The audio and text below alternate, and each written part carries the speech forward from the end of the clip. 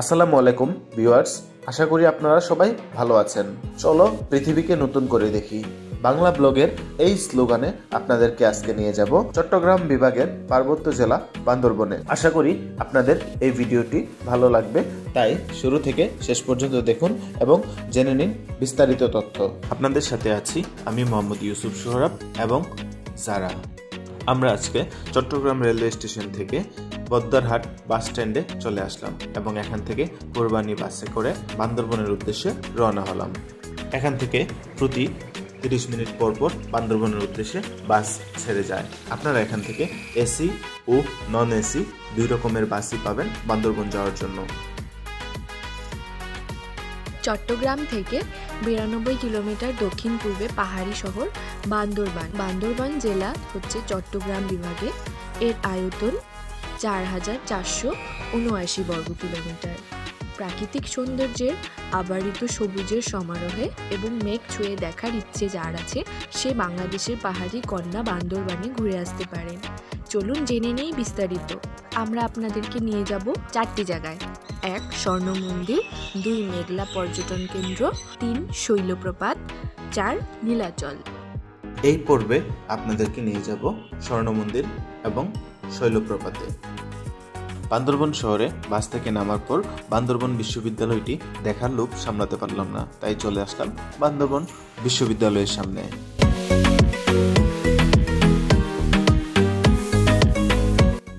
বান্দরবন সদর থেকে সিএনজি করে আমরা এখন চলে যাব স্বর্ণ মন্দিরে। স্বর্ণ মন্দিরে যেতে যেতে রাস্তার পাশের দৃশ্যগুলি চলুন দেখে নেই।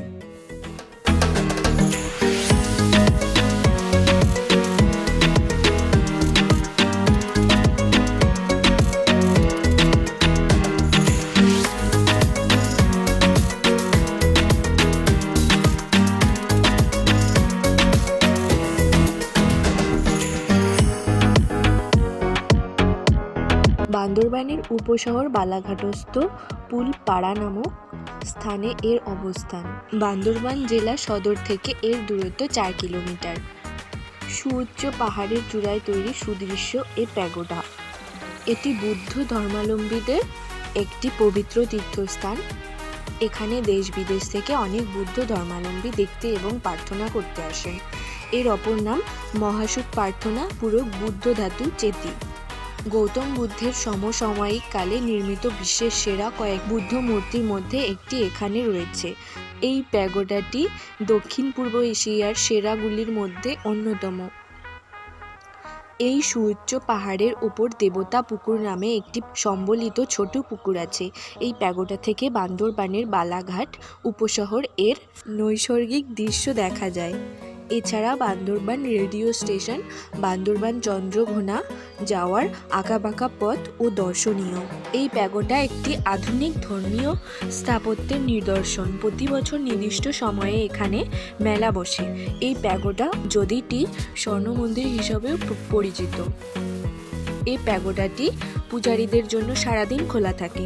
দর্শনার্থীদের জন্য বিকেল পাঁচটা থেকে সন্ধ্যে সাতটা পর্যন্ত খুলে দেওয়া হয়। প্রবেশ মূল্য জনপ্রতি দশ টাকা।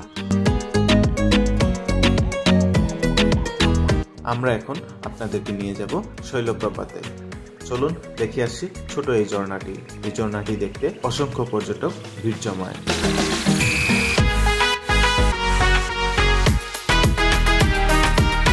বান্দরবন শহর থেকে আবারও সিএনজি করে আমরা চলে যাচ্ছি শৈলপ্রপাতে।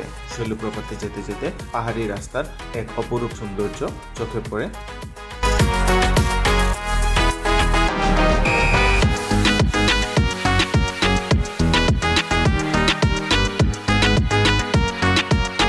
এই সৌন্দর্য দেখতে দেখতে আমরা পৌঁছে গেলাম শৈলপ্রপাতে।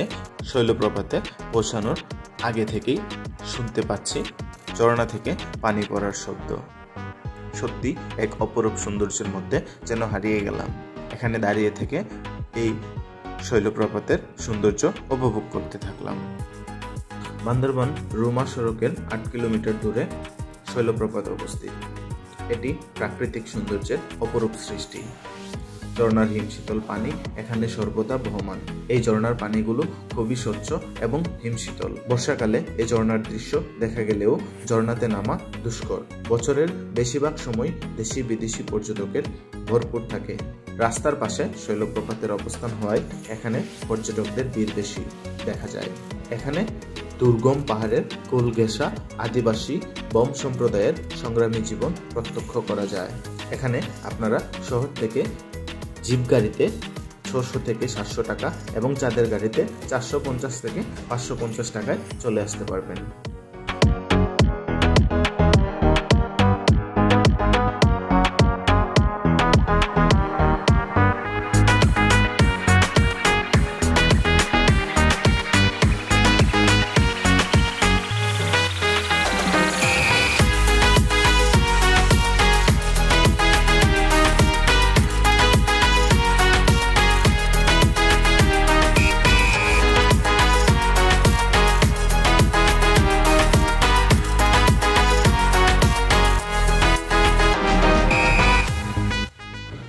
শৈলপ্রপাতে পৌঁছানোর পর মন যেন হারিয়ে গেল কোনো এক অজানা দেশে। আর এরই মধ্যে হারিয়ে সৌন্দর্য উপভোগ করতে করতে কখন যেন সময় পার হয়ে যাচ্ছে, তার খবরই নেই আমার। শৈলপ্রপাতের ঝর্ণাটি দেখতে দেখতে ইচ্ছে হলো একটু পাহাড় ট্রেকিং করব এবং দেখব কোথা থেকে এই ঝর্ণার সৃষ্টি।